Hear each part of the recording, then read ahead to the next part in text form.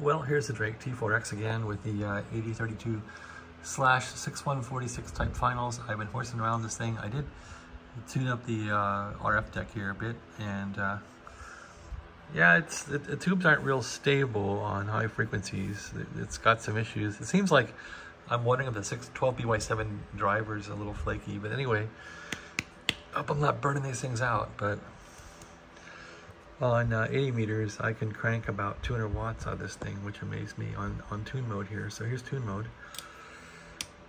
And there's the plate current. And cranking about 200 watts on 80 meters, which is better than it used to do.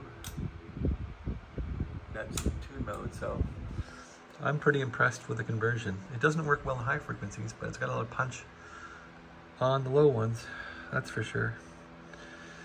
All right, well, thanks for watching. Have a great day.